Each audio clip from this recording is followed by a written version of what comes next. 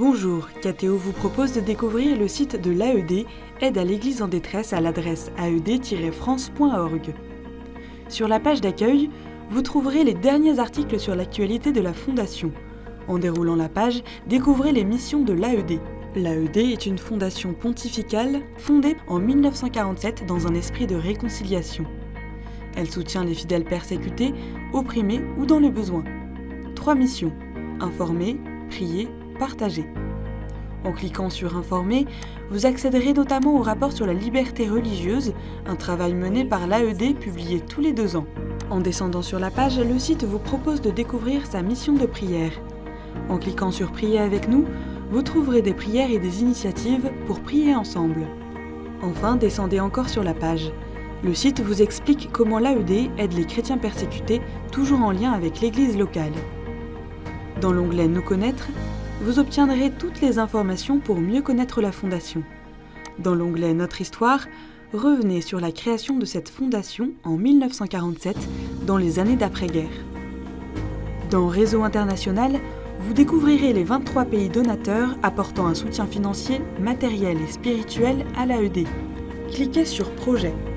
Chaque année, l'AED soutient plus de 5000 projets, aide un prêtre sur 10 et plus de 13 000 religieux. Pour en prendre connaissance, déroulez la page. Vous trouverez une carte qui vous dévoile les projets de l'AED dans le monde.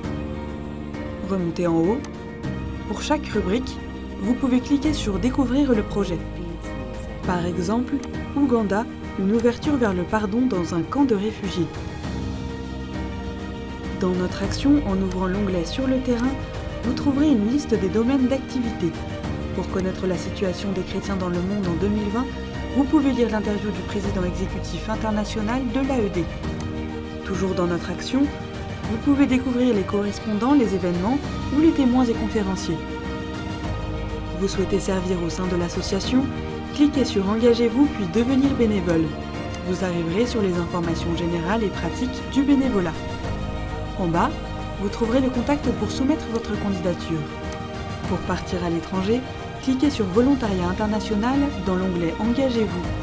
Vous pouvez contacter la personne responsable du projet ou vous rediriger sur le blog d'AED Mission en cliquant ici.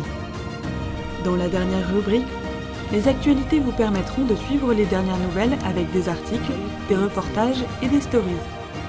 En bas, en cliquant sur Voir nos dernières vidéos, vous serez redirigé sur la chaîne YouTube de l'AED. Pour soutenir les chrétiens dans le monde et mieux connaître les missions de l'aide à l'Église en détresse, n'hésitez pas à vous rendre sur son site aed-france.org. Bonne navigation